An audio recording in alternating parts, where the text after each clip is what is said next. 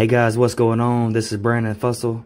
Hey, listen, I have a Samsung Galaxy S10 Plus that internal storage has like 128 gigabytes.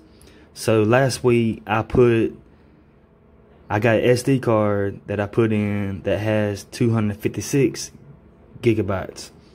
And the reason is that way I can put more videos, pictures, I do a lot of graphic design and um, stuff on my YouTube channel, um, pressure washing and stuff. So I need a little more um, storage.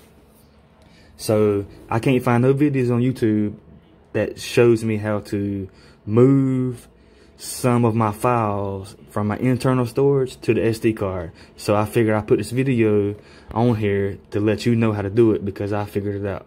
So I got my screen recorder recording what I'm about to show you. So what I do on my phone is you see the top, um, the top lines, um, the third, the Samsung file, click it. Um, go to my files.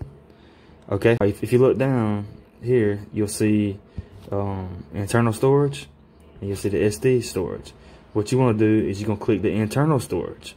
Click internal storage and you'll go down uh, to the file that you want um, I've moved a lot of my files already.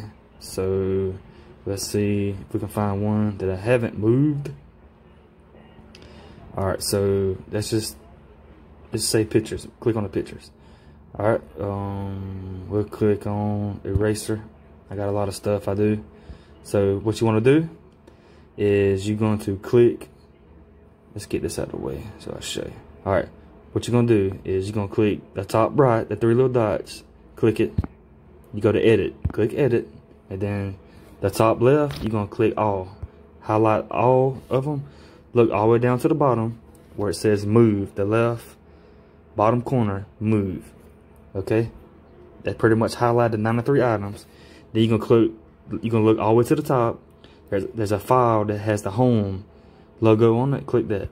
Okay? Now we're moving um, internal storage to the SD card. So you're going to click SD card. Okay. Now it highlighted on the bottom. And then all you can do now is click move here on the right bottom corner. Move here. So it's moving all my items from my internal storage to the SD, SD card. Again, thank y'all for watching. Subscribe to my channel because I put all kind of stuff out there. Thank y'all for watching. Have a good day. God bless y'all.